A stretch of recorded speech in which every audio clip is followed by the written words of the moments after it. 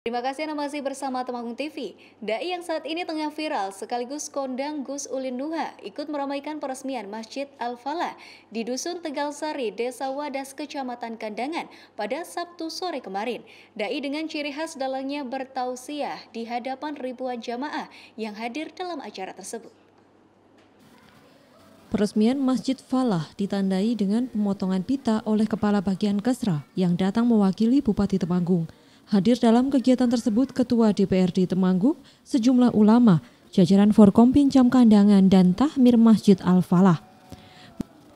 Masjid Al-Falah yang berdiri tepat di tengah dusun Tegal Sari dibangun sejak tahun 2018 dengan menghabiskan dana sekitar 2 miliar rupiah lebih yang berasal dari swadaya masyarakat setempat. Dibangun berdasarkan dusun.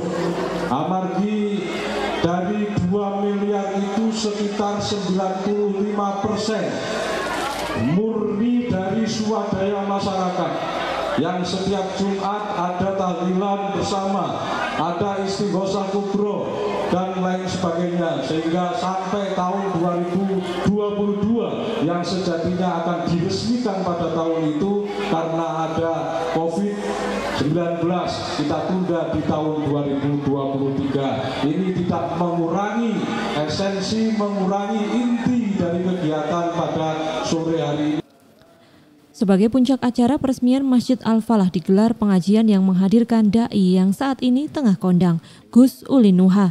Ribuan jemaah nampak tak beranjak mengikuti tausiah dai yang viral dengan aksi pendalangan menggunakan wayang kulit.